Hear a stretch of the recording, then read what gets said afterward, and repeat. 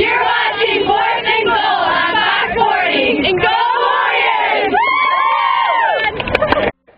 Well, welcome back. It's been nearly two decades since Chenango Valley beat Chenango Forks. In other words, that's an eternity when it comes to high school students, as most of them currently on CV haven't seen the Warriors beat their crosstown rivals in their lifetime.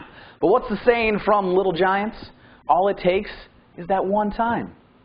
That one time is trying to happen to, on Saturday. This week's game of the week brought to you by Rocco J. Testati Incorporated and Dependable Auto Sales Services Incorporated. The Valley fans out in full force for this one, hoping this might finally be their year. We pick it up, no score in the second quarter, but Forks driving. Ethan Cook able to pound it in. That makes it seven to nothing. CV trying to answer less than a minute to go in the half.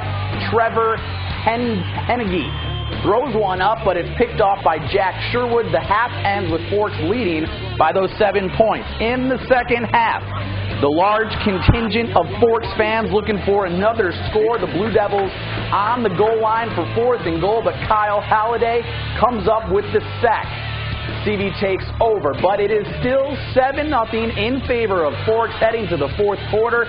Get your fingers up. In the fourth, the Warriors at their own goal line, but Hennigy scrambles and tosses it up to Zach Collins. That gets the first down. Later in the drive, it's time for Evan Treblecock finding Collins, and Collins takes it the rest of the way. The extra point is the only thing standing in front of us for a tie ball game, and that's how regulation would end with that extra point tying things up. We head into overtime, and in the extra session, both teams continuing to struggle offensively. First drive, Treblecock stopped by Forks in the backfield, but CV's able to stop Forks in OT as well. Number one. So we go to OT number two. That's where Forks finally gets it into the end zone. Isaiah Zimmer doing what he does best on this one, and that is moving the pile for the touchdown. It is now 13 to 7. The Blue Devils then decide to go for two, and guess what? It's Zimmer again, and he gets it. That makes it 15 13. Are you following me here?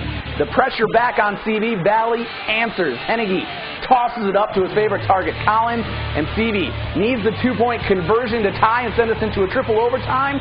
They do not get it.